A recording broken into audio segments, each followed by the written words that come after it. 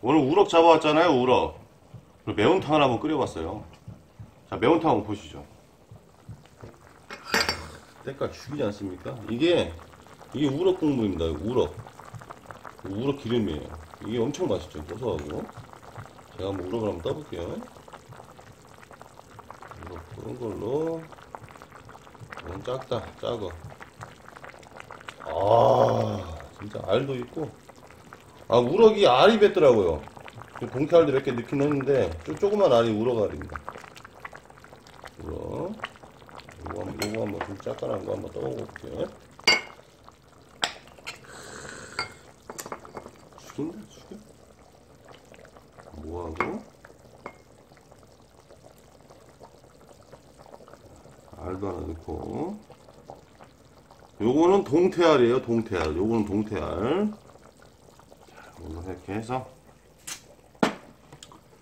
자, 우럭 살을 한번 제가 먹어보겠습니다. 후! 이게, 이게 2시간 전만 해도 살아있었거든요? 이게 통우럭 매운탕이 상당히 맛있어요.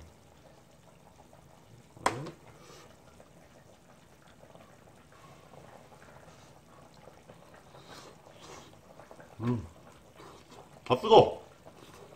또 뜨거!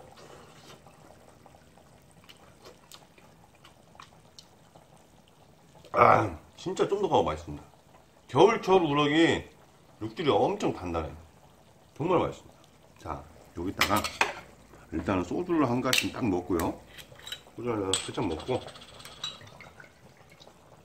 자, 입가슴을 하고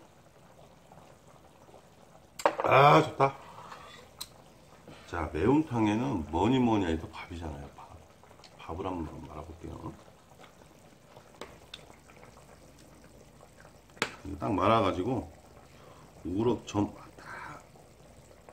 아, 살한 점 띄어서 자 밥에다 올려가지고 끝내주죠 이게 바로 낚시꾼의 행복입니다 아 뜨거울 것 같은데?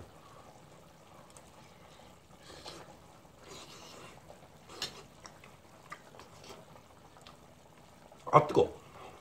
아 국물 시원합니다.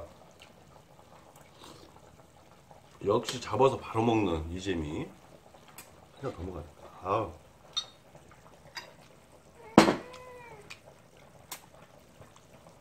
한잔하세요 아유 좋다. 넌 뭐야? 여러분 다음에 다시 한번 고기 잡아가지고 이번에는 다른 거 한번 보여드릴게요. 아시겠죠? 네 감사합니다. 지금까지 가프로였습니다. 자 다음에 봬요. 안녕히 계세요